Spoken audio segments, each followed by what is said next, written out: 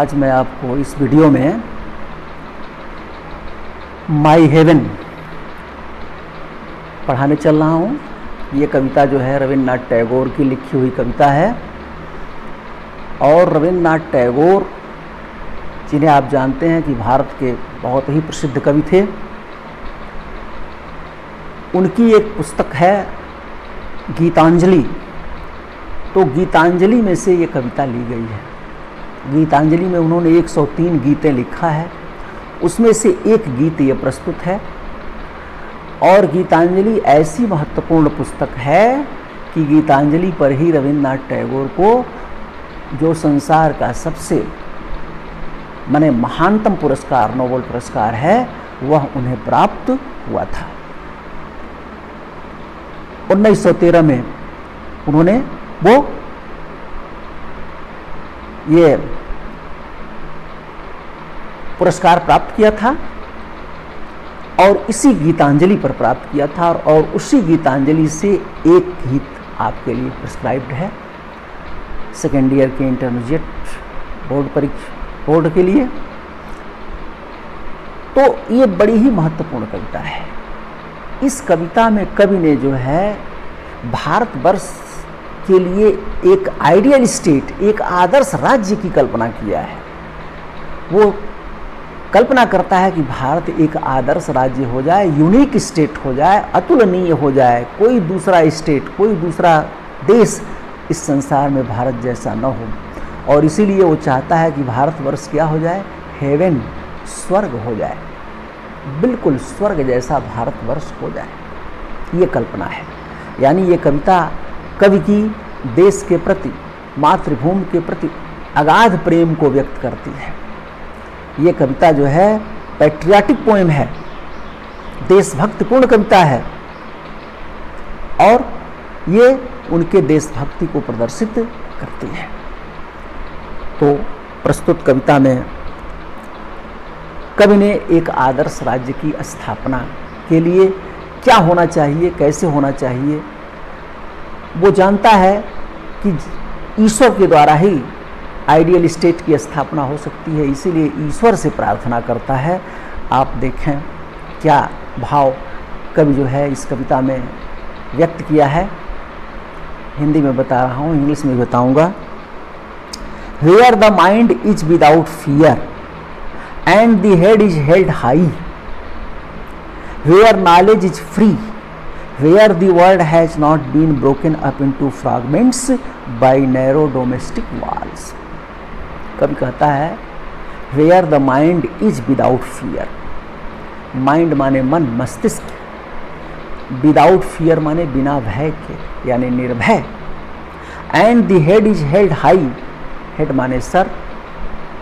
Held high माने ऊंचा हो ऊपर हो वेयर नॉलेज इज फ्री जहाँ ज्ञान स्वतंत्र हो where world has not been broken up to fragments fragments मैंने होता है टुकड़े खंड by narrow domestic walls narrow माने संकीर्णता की डोमेस्टिक वाल्स घरेलू दीवार आपसी दीवार कभी कहता है कभी ईश्वर से प्रार्थना करता है कि हे ईश्वर हमारे देश को ऐसा बनाइए हमारे देशवासियों को ऐसा आप बना दीजिए कि where the mind is without fear जिनका मन बिल्कुल निर्भय हो यानी उनके मन में किसी प्रकार का कोई भय न हो क्योंकि जब आदमी निर्भय होता है तो स्वतंत्र रूप से वह काम करता है तब उसका विकास होता है अच्छा कार्य करता है और जब मनुष्य के मन में किसी प्रकार का कोई भय हमेशा बना रहता है तो वह व्यक्ति कभी भी कोई विकास का कार्य नहीं कर सकता है कुछ अच्छा सोच नहीं सकता है कुछ अच्छा कर नहीं सकता है इसलिए कवि ईश्वर से प्रार्थना करता है कि हे ईश्वर हमारे देशवासी निर्भय हों यानी उनके मन में किसी प्रकार का कोई भय न हो and the head is held high और उनका सर जो है गर्व से ऊंचा हो सम्मान से ऊंचा हो अर्थात हे ईश्वर हमारे देशवासी कोई ऐसा अनैतिक या बुरा काम न करें जिससे उनका सर शर्म से नीचा हो अर्थात वे हमेशा उत्तम अच्छे संस्कारित कार्य करें जिससे उनका सर हमेशा गर्व से ऊंचा हो कितना अच्छा भाव कवि जो है व्यक्त किया है और किस तरह से वो चाहता है where knowledge is free जहाँ ज्ञान बिल्कुल स्वतंत्र हो यानी ज्ञान देने में किसी प्रकार का पक्षपात न किया जाता हो जाति धर्म संप्रदाय के नाम पर पक्षपात न लिया जाए ज्ञान देने में ज्ञान सबके लिए सूर्य की किरणों जैसा हो जैसे सूर्य अपना प्रकाश सबको देता है समुद्र अपना जल सबको देता है जो जितना चाहे ले ले ठीक उसी तरह से हमारे देश में भी ज्ञान देने में कोई पक्षपात न किया जाए और ज्ञान सबके लिए स्वतंत्र हो बहुत ही ऊँची बातें हैं कवि ने बड़ा अच्छा भाव व्यक्त किया है तभी तो इसे नोबेल पुरस्कार मिला है where the world has not been broken up into fragments by narrow domestic walls कवि कहता है कि हे ईश्वर हमारे देश में आपस में लोगों में संकीर्णता की दीवार न हो दीवाल का क्या काम है बांटना हमेशा दीवाल बांटती है जब भी एक जगह दीवाल खड़ा करेंगे दो भाग हो जाएगा फिर वहाँ भी दीवाल खड़ा करेंगे तो दो भाग और हो जाएगा यानी दीवाल का काम बांटना होता है जोड़ना नहीं होता है तो कवि ने कहा है कि संकीर्णता की डोमेस्टिक दीवाल संकीर्णता की दीवाल घरेलू दीवाल उनमें न खड़ी हो अर्थात हमारे देशवासी जाति धर्म भाषा संप्रदाय रंग के आधार पर आपस में दूरी न बनाए उनमें आपस में कोई वैमनस्य न हो उनके अंदर संकीर्णता की दीवार न हो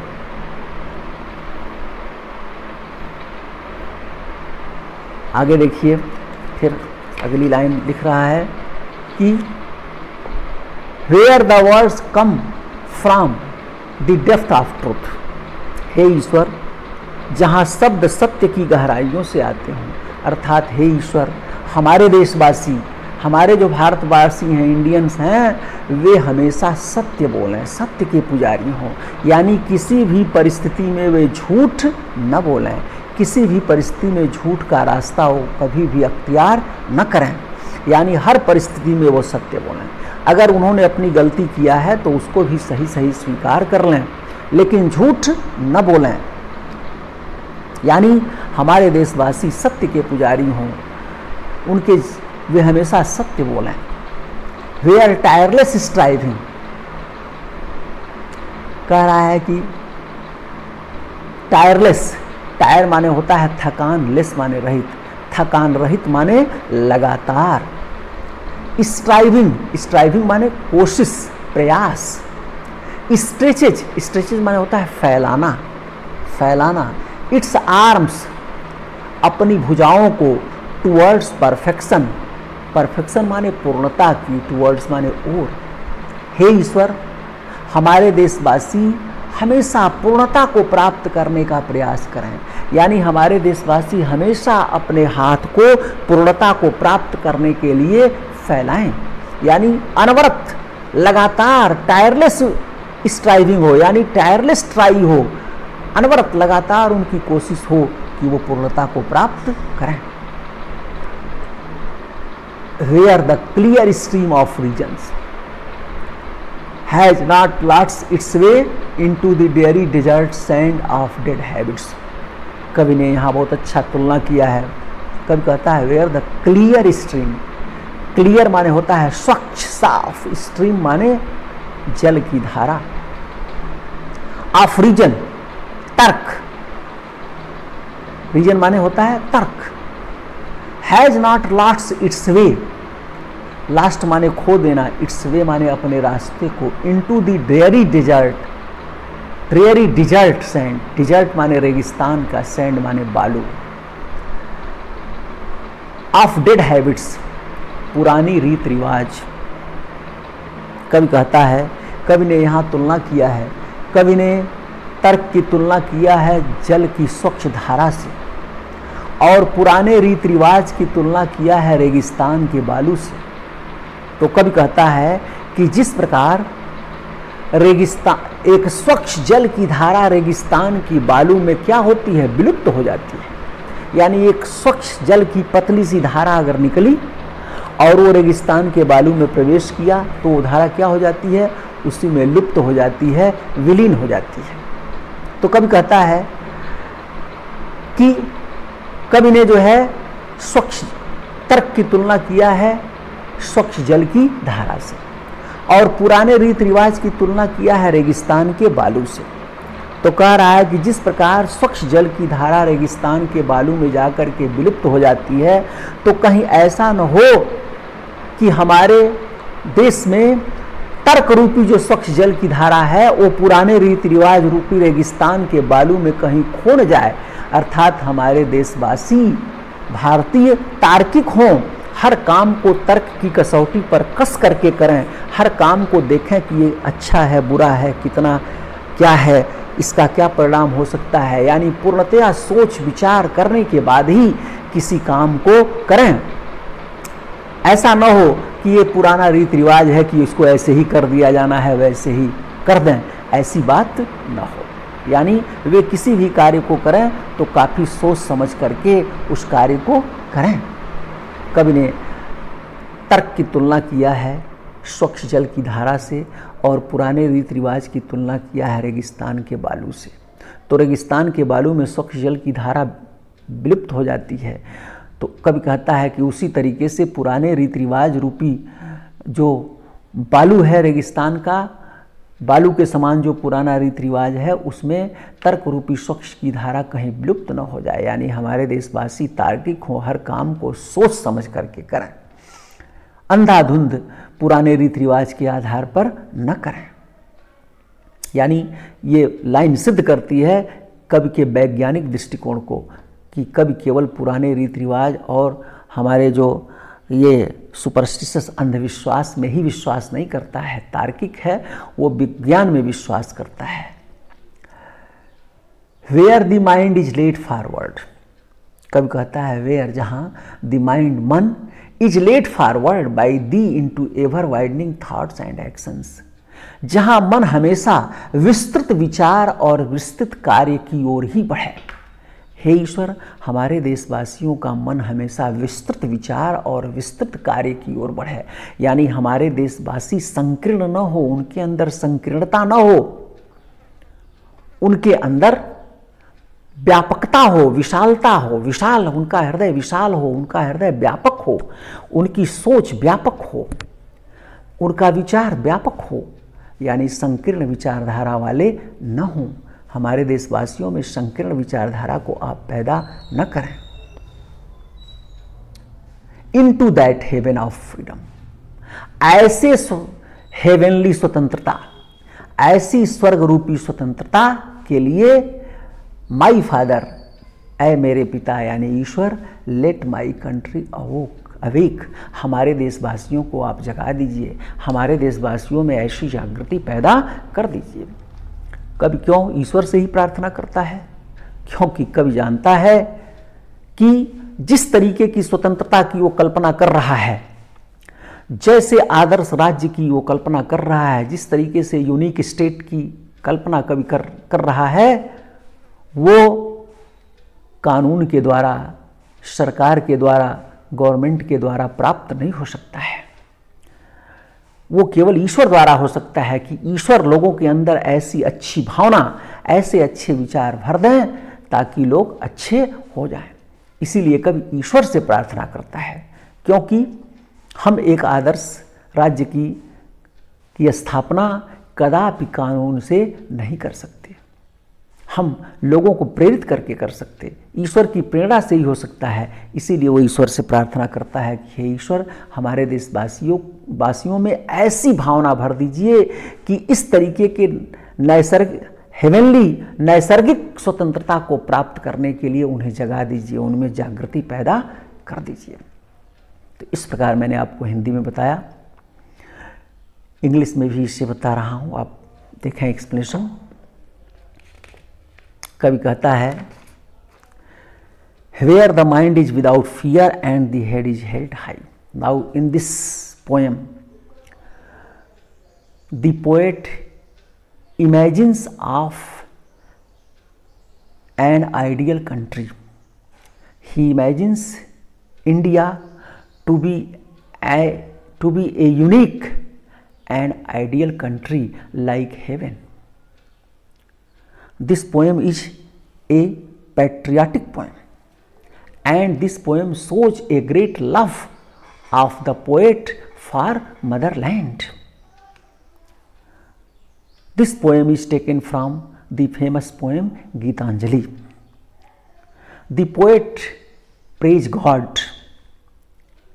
He praised God and he makes an appeal that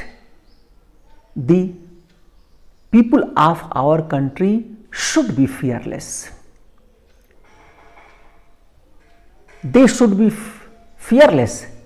There should be no fear in their minds because a fear man can do nothing. He cannot think about new things. He cannot do right things and he cannot decide what is wrong and what is right. So, he praised God that he praised God to make the people of our country fearless and they should always raise their heads high in reverence and honors. It means they should not commit any wrong work any illegal or illegal works or unnecessary works for them they should have to bend his, their heads. So he prays God that the that Indian people should always do honorable works, respectable works, so that they may raise their heads high in honor and reverence. He also says that knowledge should be free. It means there should be no partiality in giving knowledge. Teachers of our country should not take any partiality. For the students on the basis of on the basis of caste, cult, religions, languages and other things. They should give knowledge freely to everyone without any distinction, without any separation. He also says that where the world has not been broken up into fragments by narrow domestic walls. He also says, the poet says, the poet praise God that the people of our country should not be divided through, through domestic walls. Domestic walls means the separation related to class, class related to caste, class, cult, religions. So, it is said that unity in, unity in diversity in india there is unity in diversity and this unity is always remained they should not be separated on the basis of these above things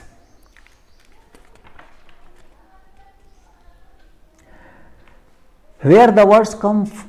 come out from the depth of truth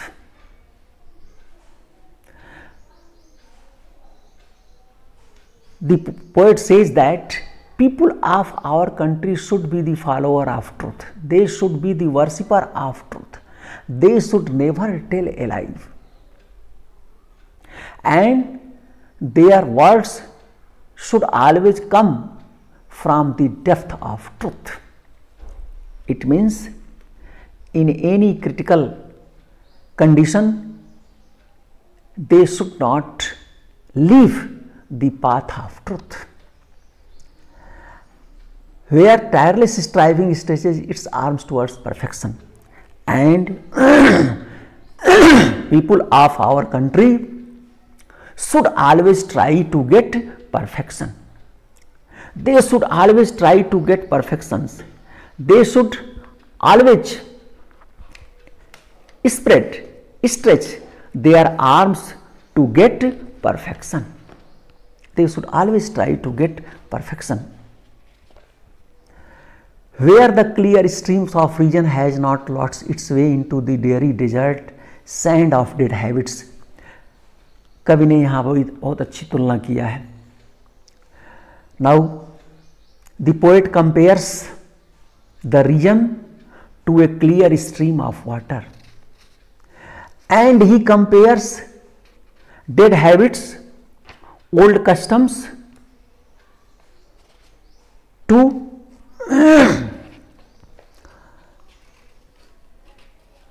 desert sands, dreary desert sand. And the poet says, as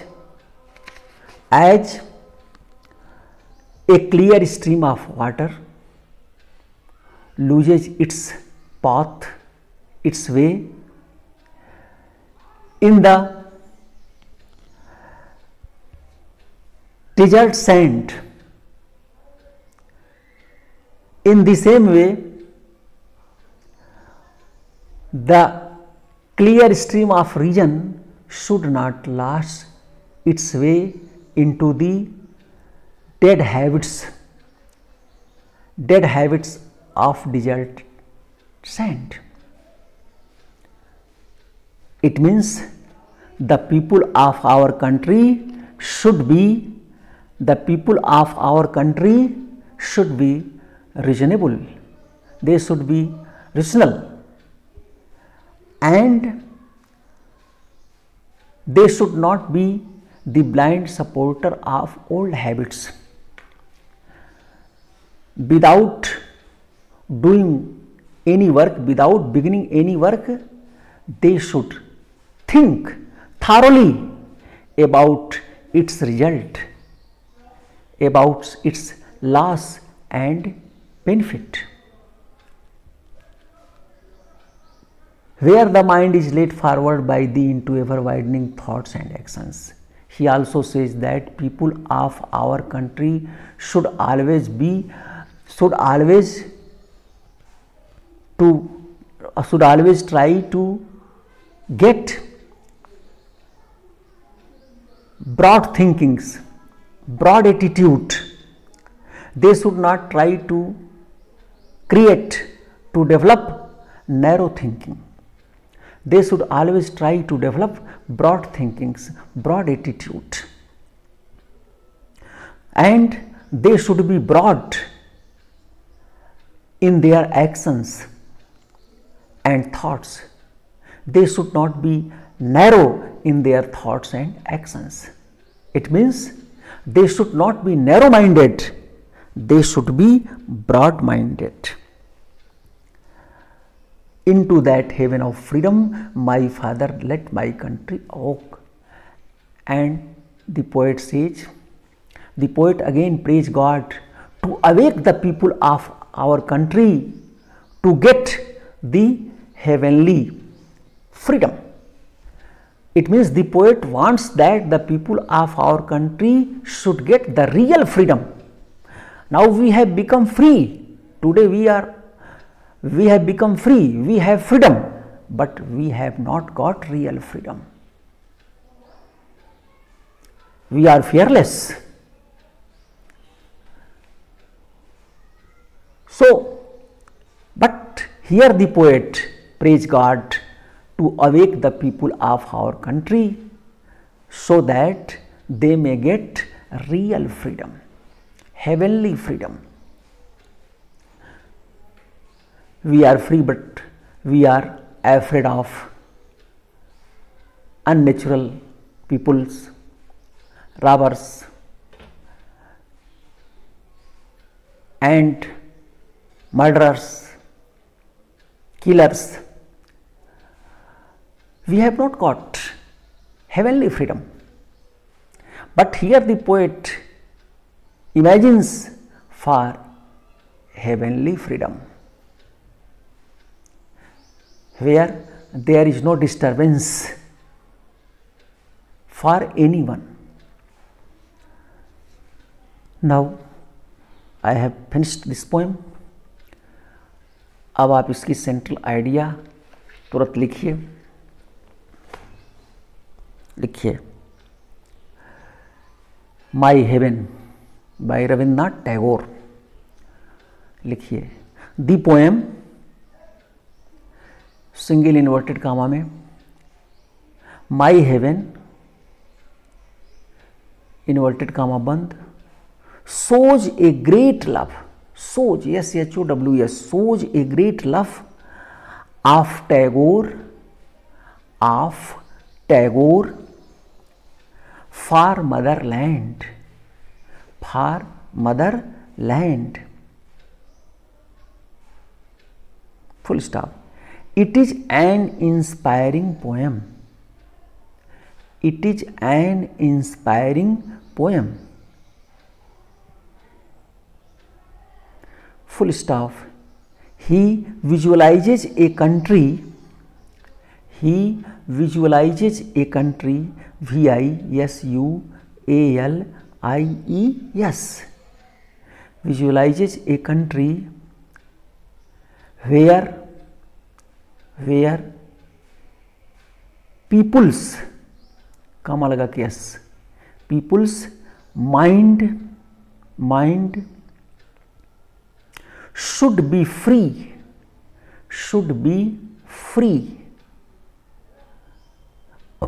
from fear and from fear and narrow mindedness narrow mindedness M I N d E D N E double s full stop he prays to god he prays to God to make India a country, to make India a country where knowledge should be free to all, where knowledge should be free to all. Full stop. The people should be guided. the people should be guided by the region by the region and not by blind belief and not by blind belief b e l i e f full stop they should be progressive they should be progressive, progressive, progressive in their outlook, in their, THEIR, their outlook, full stop. He also prays to God, he also prays to God for the unity of India. for the unity of India. This poem is the 35th song of Gitanjali. This poem is the 35th song of Gitanjali. Full stop. It is a prose poem. It is a prose poem. Full stop in this poem in this poem comma the poet gives the poet gives the picture of an ideal country the picture of an ideal country full stop we find the best use of metaphor in this poem we find the best use of metaphor in this poem इस प्रकार ये कविता समाप्त हो गई अब आप इसको ठीक से समझ गए होंगे कई बार इस वीडियो को देखें पढ़ें समझ में आ जाएगा बहुत ही महत्वपूर्ण कविता है अब आपको बहुत बहुत धन्यवाद